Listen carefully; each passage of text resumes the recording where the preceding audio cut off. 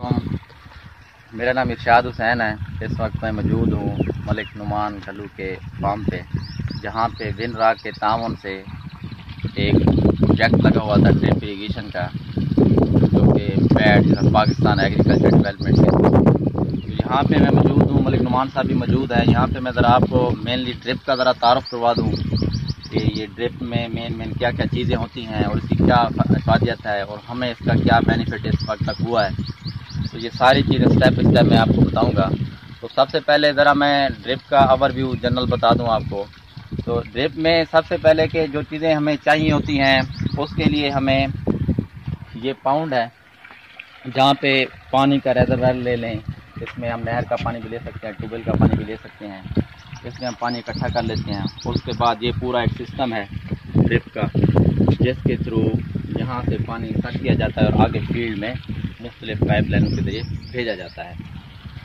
अच्छा जी, और इसमें जो सबसे मेन मैं आपको चीज़ फोकस करना चाह रहा हूँ कि हमें फ़खर साहब के थ्रू ये फ़खर साहब ने पहले मीटिंगें हुई थी, उन्होंने ड्रिप के मतलब हमें बताया था कि ड्रिप की ये फ़ायदा है, ये ये चीज़ें हैं।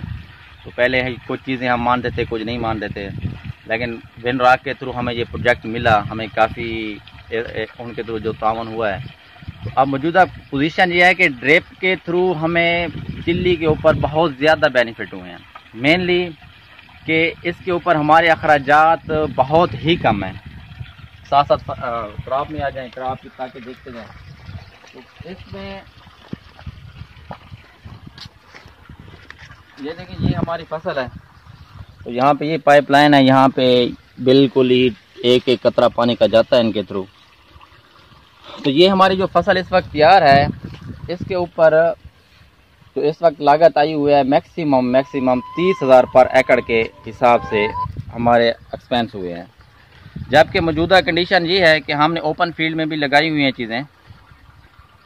तो ओपन फ़ील्ड में इस वक्त हमारे अखराज पहुँच चुके हैं तकरीबन लाख से डेढ़ लाख तक पर एकड़ एक्सपेंस अब इसके थ्रू हमें कैसे कैसे बचत हुई है किन किन चीज़ों की बचत हुई है वो मेनली मैं आपको बताता हूँ।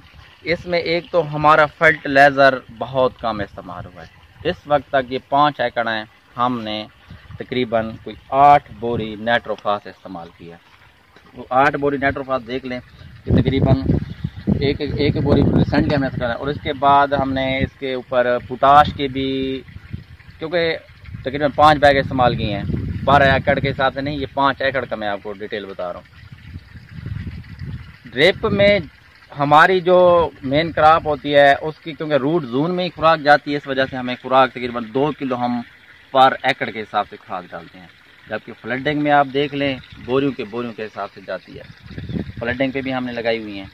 और इसके बाद दूसरा, इसके ऊपर जो फंजी साइड इस्तेमाल होते हैं, उनकी रेशो भी बहुत कम रही है।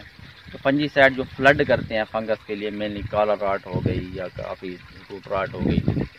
तो उसके भी हमें उसके लिए भी हमें हाफ़ डोज इस्तेमाल करना पड़ती है। इस वक्त जो मलिक नुमान साहब है मैं ज़रा इनसे अभी मजीद आपसे पूछता हूँ कि नुमान साहब ड्रिप के मतलब या कितने इनके एक्सपेंस हुए हैं या किस हद तक ये सेटिस्फाई हैं? जी नुमान साहब ज़रा आप बताइएगा ज़रा। जी जनाब। तो ये आप बताएँ कि ये जो आपने ड्रिप लगाई है इसके ऊपर आपके कितने एक्सपेंस आए हैं? इस टाइम तो सारे इसके ऊपर जो लगा हुआ है डेढ़ लाख रुपये खर्च हुआ है इस टाइम तक। कितने एकड़? है पाँच एकड़ ये चिल्ली फ़ील्ड है। पाँच एकड़ पे डेढ़ लाख रुपये मेरा खर्च हुआ है।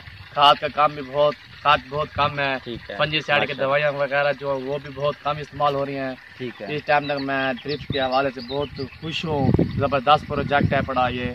तो पहले पहले भी मैंने लगाई थी ओपन, ओपन में। फ्लडिंग में लगाई थी मेरा से।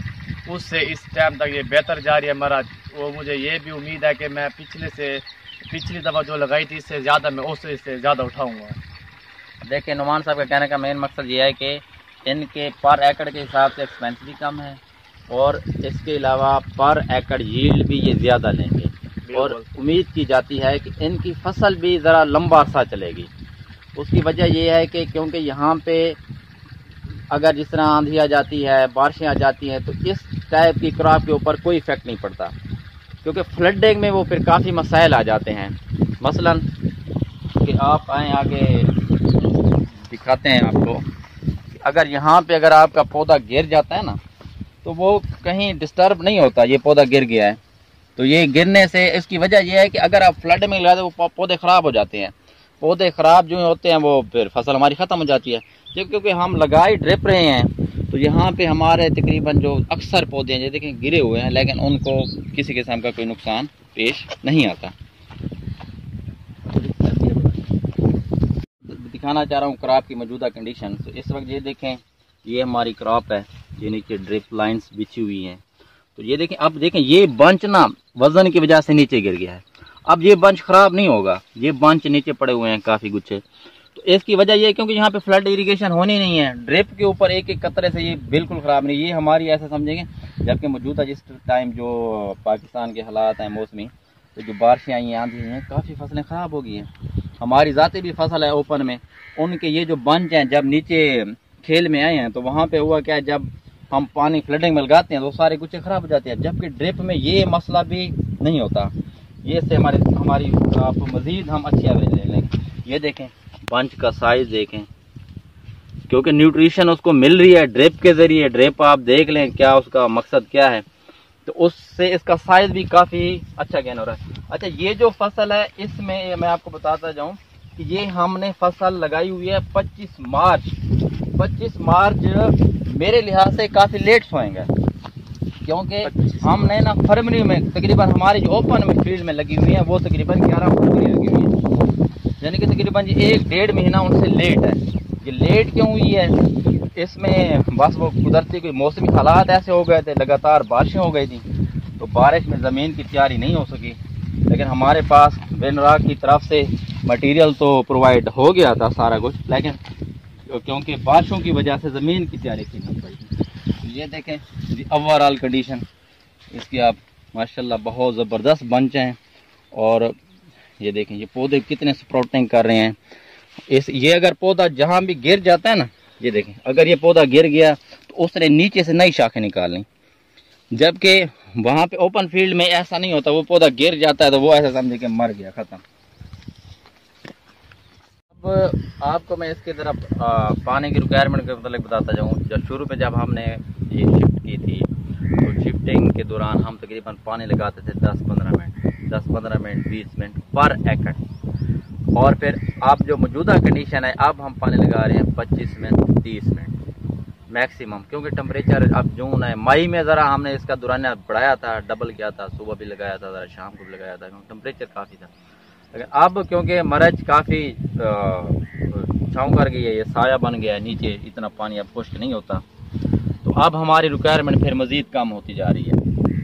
तो मैं आपको इसके मेन ड्रिप के मतलब मेन जो मेन हम इस चीज़ से मुतमिन है, वो ये है। एक तो ड्रिप के ऊपर फ़सल लगाने के अखराज भी बहुत कम हैं, फ़सल को रन करने के।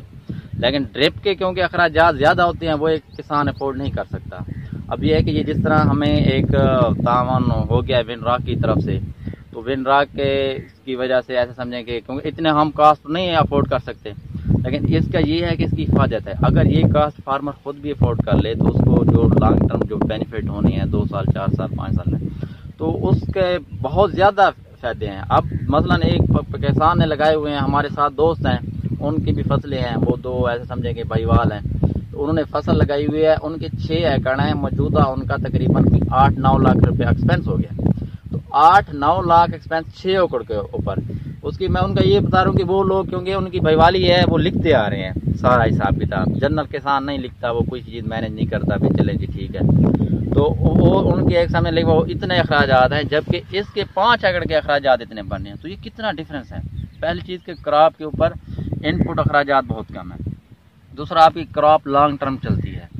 अच्छा और तीसरी बात अब यहाँ पे भी हमारे कुछ, क्योंकि ड्रिप हमारे लिए एक नई चीज़ थी तो यहाँ पे भी हमें ऐसे समझे कि कुछ खामियों का सामना करना पड़ा है। मसलन, हमारी जो बेड की सेटिंग थी, वो हम प्रॉपर नहीं कर पाए। अब हमें पता चल गया है कि हमने आने वाले दिनों में कैसे उसको सेट करना है। फिर ये कोरोना का मसला आ गया, इसके मतलब फिर ज़रा गैप आ गया।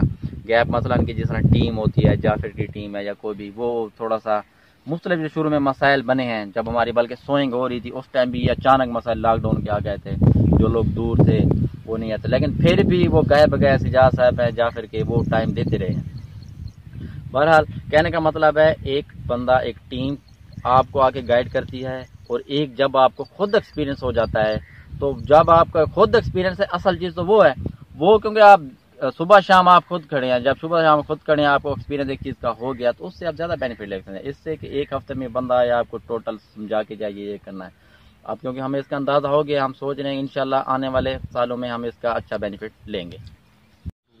अच्छा जी, ये देखें, ये हमारे ओवरऑल ये व्यू है क्रॉप का।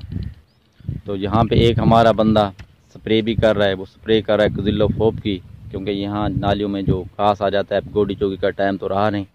तो इसके अलावा हम केमिकल का सहारा ले रहे हैं ताकि ख़त्म हो जाए। मलिक नुमान साहब भी मौजूद हैं इस टाइम तो ये हमने ये पाँच एकड़ के ना जो पाँच जून बनाए थे हमने एक एक एकड़ का जून है। ये देखें यहाँ से यहाँ ये बाल लगे हुए हैं। इन बाल को हम ऐसे ओपन कर देते हैं एक एकड़ में चला जाता है फिर इसको क्लोज़ कर देते हैं फिर अगला अगला ओपन करके फिर पिछला क्लोज़ करते हैं। तो इस तरीके से। तो ये हर एकड़ में ड्रिप यानी कि कतरा कतरा पानी चला जाता है। तो कतरा कतरा जब पानी जाता है तो उससे होता क्या है कि पानी की रिक्वायरमेंट पौधे की पूरी हो जाती है। तो हमें उसके रिटर्न में बेनिफिट मिल जाते हैं। मिस्टर आतिफ साहब भी मौजूद हैं। ये भी फ़ील्ड ऑफिसर हैं बिन राग की तरफ़ से अंडर हाजी सन्स तो ये भी माशाल्लाह अच्छा गाइड करते हैं। डे बाई डे आके टाइम दे जाते हैं। फार्मर को अपडेशन है नॉलेज जो भी है, चीज़ें फंजी साइड इस्तेमाल कर रहे हैं इंसेक्टिसाइड कर रहे हैं या क्रॉप के हवाले से। बाकी ये मुख्तलिफ़ जब ये आतिफ साहब ने एक और भी इनका ये है कि ये क्योंकि मुख्तलिफ़ ड्रिप विज़िट करते रहते हैं तो ये आके नाले शेयर भी करते हैं कि वहाँ पे क्या हो रहा है, यहाँ पे क्या हो रहा है, आपको क्या करना चाहिए, वो क्या कर रहा है, ये क्या कर रहा है। तो इस तरह ये शेयर ऑफ़ नॉलेज भी हो जाती है, क्योंकि फार्मर के पास इतना टाइम नहीं है, किसी और की फ़सल देखने के लिए जाए, एक लंबा फासला तय करके। तो अल्हम्दुलिल्लाह हम काफ़ी ही मुतमिन हैं ड्रिप से और हम शुक्रगुजार हैं विन राग के जिन्होंने पैड प्रोजेक्ट के अंडर हमें ये फैसिलिटीज़ दी और ताकि हम इस फैसिलिटी से काफ़ी फ़ायदा भी उठा रहे हैं हमें फ़ायदा भी हो रहा है। और इन अल्लाह बेहतर करे अल्लाह इनको जजाय खैरता फरमाए।